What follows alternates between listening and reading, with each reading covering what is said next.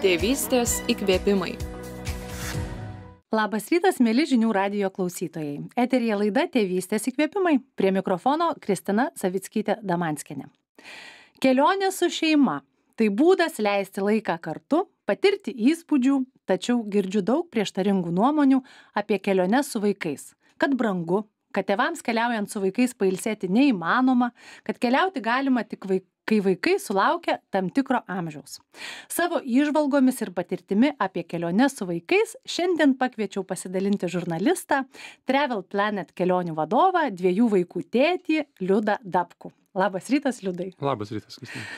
Kai aš galvoju apie keliones su vaikais, tai mane irgi apima dvilypis jausmas. Vienas jausmas yra toks, kad aš, na, noriu su vaikais dalintis viskuo, ką patiriu pati ir galbūt prisimindama savo vaikystę, kai mes nelabai galėjom keliauti, noriu lyg ir duoti jiems kuo daugiau, ką suteikia dabartinės galimybės. O kitas jausmas, aš irgi išgyvenu va tą, ką ir sakiau, kad pavargsiu, kad čia rūpintis, bėgioti, lakstyti ir nepailsėsiu. Tai jeigu paklausčiau tavęs, koks jausmas tave apima tiesiog kelionės su vaikais, įvertinant tavo patirtį, koks jis?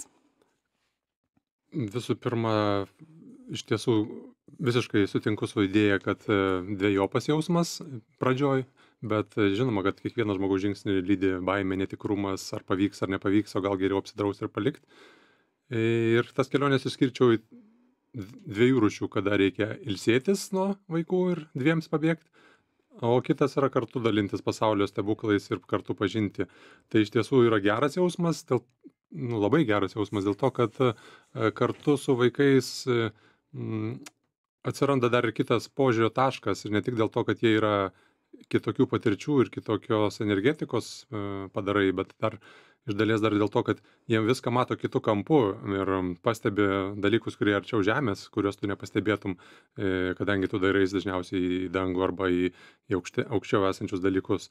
Už tai vienas iš e, geresnių tokių triukų, kuriuos verta išbandyti su, net ir su trimečiais keliaujant, duoti jiems kokią nors atgyvenusią fotokamerą ir leisti žmogui eksperimentuot. Ir po to pamatyt labai įdomius rezultatus daug kojų ratų mašinų kokių nors tenai džiunglėse ant nukritusių daiktų mažų ir taip toliau panašiai. Ir, ir žmogus bus mažas pa, pa, pagerbtas ir tu pats pamatysi savo vaiko akimis pasaulį Nuostabus pasiūlymas, aš tikrai jo pasinaudosiu, mūsų moteris yra tokiam amžiui, kai tikrai va tą va, pasaulį tyrinėja dar labai aplink save.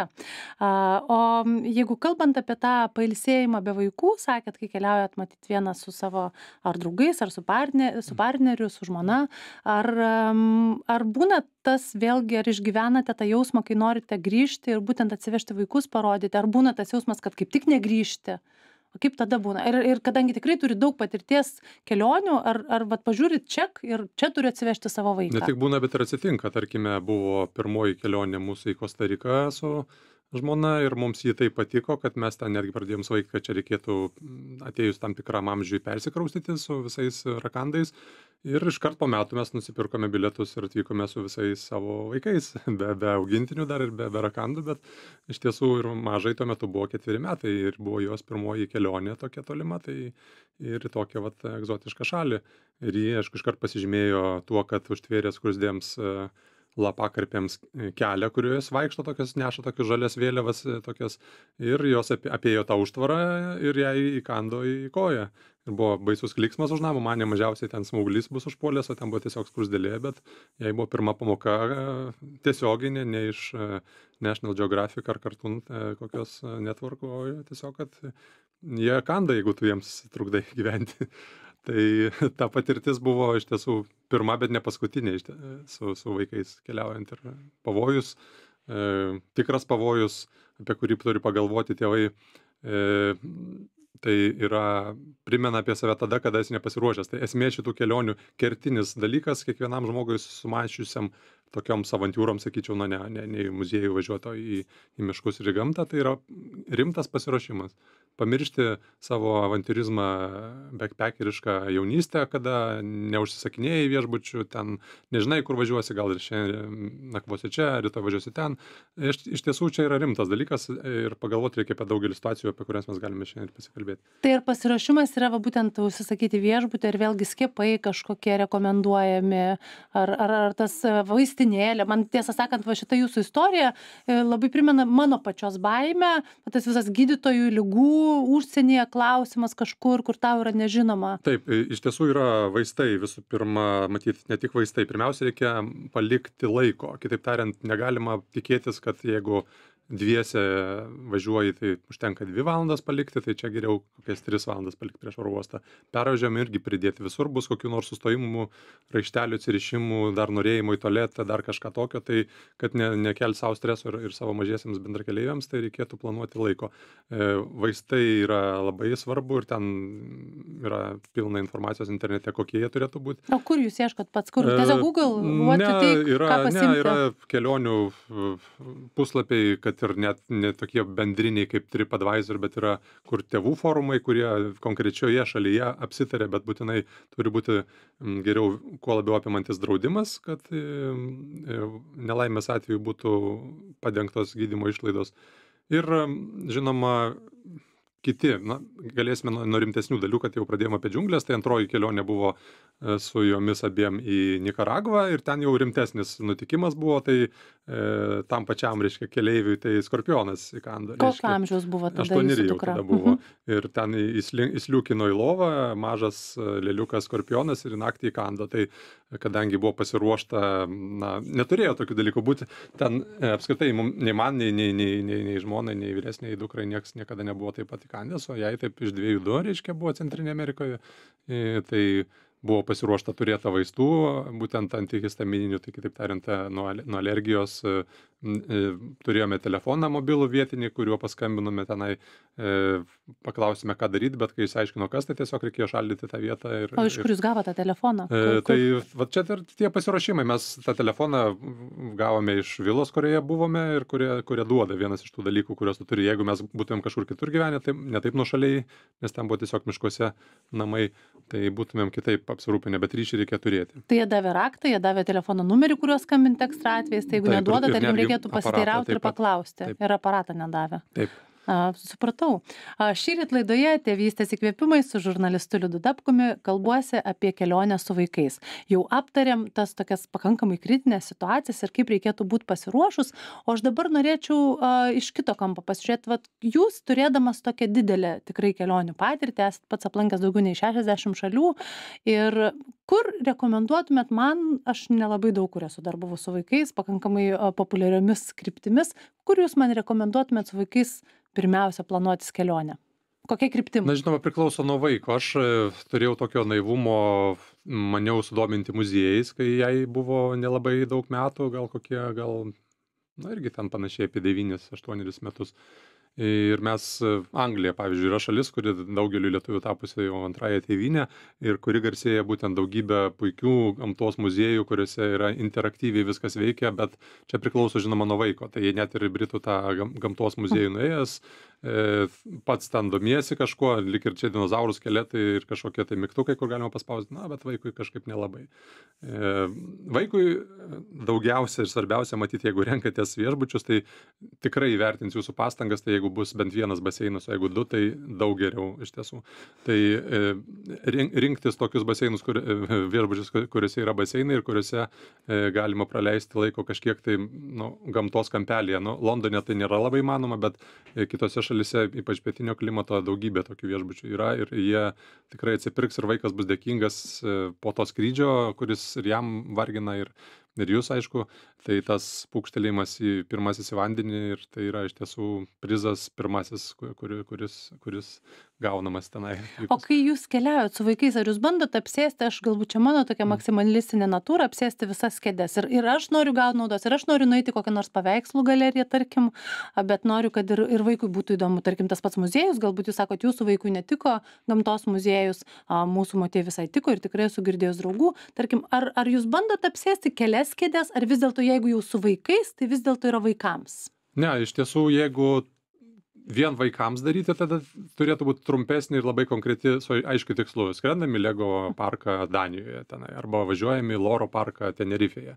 Bet vat kaip tik buvome rudenį su dukra dviese tenerifėje tai aš tai manau kad tai yra irgi ideali destinacija žmonėms kurie nori patys pailsėti ir kad jų vaikai turėtų daugybę įspūdžių. Tai visi forumai tikrai pritars gal labiau tokie snobiški žmonės pasakys kad ten jau nebėra ką žiūrėt kad ten jau yra visiškai jau na nu tokia jau ruonių gulykla bet iš tiesų pora gerų parkų zoologijos sodai kuriuose ir suaugęs smalsesnis ir vaikas tikrai patiria puikų laiką bet irgi reikia suplanuoti ir žinot kad mažos kojos ten toli nenueis nors aišku mm, kai įdomu tai ir toli nueina bet vis tiek kai kuriuose tokiuose pažangesniuose zoologijos soduose yra tie vežimėliai kuriuose e, galima išnuomoti ir vaikas atsisės ir pavažiuos. Tai vandens parkas yra gera idėja bet žinot e, persotinti įspūdžiais nėra gerai ir pavargsta žmogus nuo to reikia daryt pertraukas ir tose pertraukose kada jis lieka su e, viešbučio e, personalu jeigu jisai pakankamai didelis ir yra animatorių kažkokia grupė sau galima leisti kažkokią tai irgi sau įdomią iškylą arba jeigu ne ne ne vienas iš sutuoktinių važiuoja visi tai iš tiesų derinti reikia nes ne ne vien dėl vaiko vyksta tos kelionės ir jeigu žmonės turi tiktai keturias ar mažiau savaites per metus tai matyt kad e, norisi ir sau kažką tai e, pritaikyti. Iš jūsų girdžiu ir dabar, ką sakėt, ir prieš tai, ką sakėt apie tuos ilgesnius laiko tarpus ir tą nepersotinimą vaiko, tai ar teisingai girdžiu, kad vis dėlto kviečiat atkreipti dėmesį tai, kad su vaikais kelionė yra kitokia, yra lėtesnė ji yra ramesnė ir ir ir tam įspūdžių prasme ji turėtų būti rezervuota. Na mes turėtumėm nusiteikt kad jinai būtų lėtesnė nes ir vaikui bus geriau nes jeigu mes skubėsime ir e, nespėsime e, ar keliaujant mašina ar lėktuvu kils visiems stresas. Bet iš tiesų nemėginkite pamatyti visų ten trijų ar keturių vietų kurios yra įdomios ir netgi vengti persikėlinėti iš viešbučio į viešbučį vat mes ką tik grįžome iš puikių salų priklausančių portugalijai azoruose aš pradžioj buvau užsakęs du viešbučius viešbučius vienam gale kitas kitam.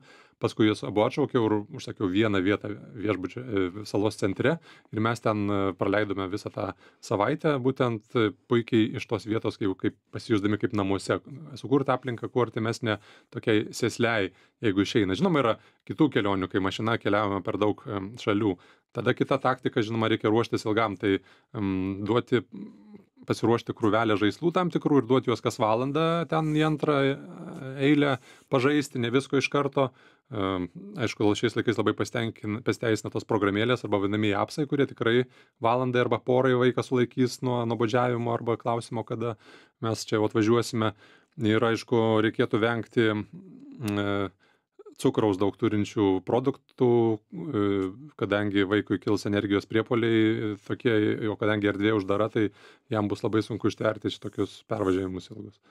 Tai tokie einantis nuo um, užimtumo iki, iki, iki dietologinių patarimų ir žinoma, keliaujant lėktuvu, tai reikėtų, žinoma, pasiruošti šeimai kažkokių šeiminių žaidimų, e, tom atveju, jeigu bus atidėtas reisas, o tokie dalykai atsitinka dažniau Pavyzdžiui, negu man. Kas galėtų tai būti? Na, tai galėtų būti tai pagal amžiaus grupę tinkamas žaidimas, kad ir Uno visiems pažįstamas, Ai, primityvus. pasiimti. Taip, Mhm, pasiimti nedaug- būtent tų protą lavinančių tokių žaidimėlių, kuriuos e, esate žaidę namuose, kurie daug vietos neužima, bet na ką, e, pasidėjot lagaminus ten, e, įsikūrė savo erdvėje oro uoste ir žaidžia to, ne žiovojot ir žiūrit, kada čia tas lėktuvas atsiras. Tai iš tiesų vėlgi sugrįžtame prie to paties, kad pasiruošimas, pasiruošimas namų darbai, nes čia yra atsakomybė ne tik už save, kad jau pats kaip nors, bet ir dar už kitus piliečius, kurie tikrai su, su, padarys viską, kad būtų viskas netaip paprasta.